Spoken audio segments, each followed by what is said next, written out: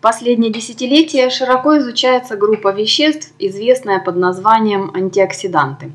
Их свойства и механизмы действия вызывают интерес физиков, химиков и биологов, а также тех врачей и фармацевтов, которые сталкиваются с ними в своей практике. Астаксантин – сильнейший антиоксидант из группы каротиноидов. На этой презентации мы узнаем, что такое астаксантин, как он работает – как производят астаксантин, рекомендации по применению, исследования по астаксантину. Астаксантин как элитный каротиноид – супер-антиоксидант, имеет особенную структуру молекулы. Благодаря этой структуре он обладает более сильными антиоксидантными свойствами и значительно легче проникает в ткани и органы, оказывая свое профилактическое и оздоровительное действие в качестве компонента диетотерапии при различных заболеваниях. Поэтому сейчас мы можем говорить о принципиально новом антиоксиданте, относящемся к элитному классу каротиноидов, который во многом превосходит имеющиеся в нашем распоряжении антиоксиданты. Образно говоря, это антиоксидант 21 века.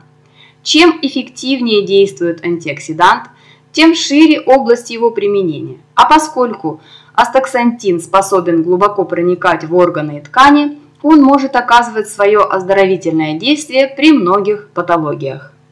Астаксантин является каротиноидом. Каротиноид – это органический пигмент, который присутствует в хромопластах растений, водорослей, грибов и бактерий и придает им цвет. Астаксантин – чрезвычайно мощный антиоксидант, Наибольшие концентрации в природе содержатся в целебной микроводоросли гематококус. Лишь в небольших количествах астаксантин встречается в некоторых видах лососевых рыб и ракообразных. Астаксантин – это король семейства каротиноидов.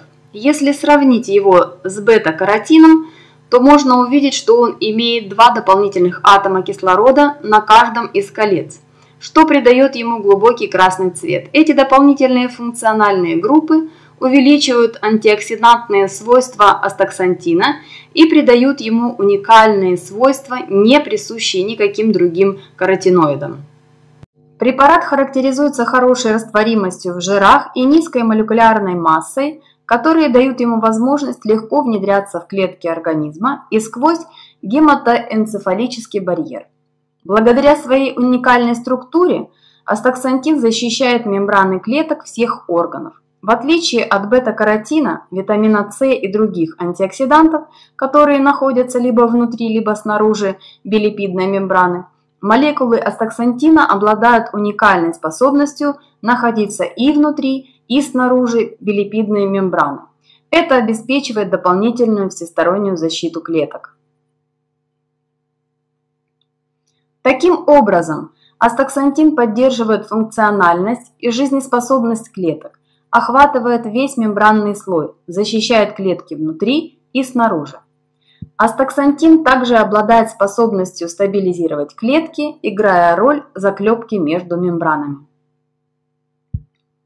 Как мы уже знаем, в природе высокие концентрации астаксантина обнаружены у одноклеточных водорослей Hematococcus pluvialis – которых концентрация астаксантина превышает 7% от общей массы. Производство начинается с культивации зеленых клеток в 20-литровых бутылях. Происходит деление клеток во время поступления питательных веществ.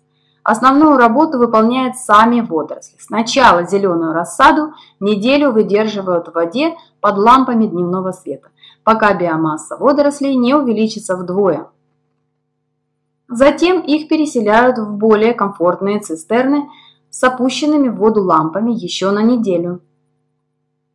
Астаксантин образуется в водорослях после того, как их помещают в гигантские емкости объемом 30 тысяч литров.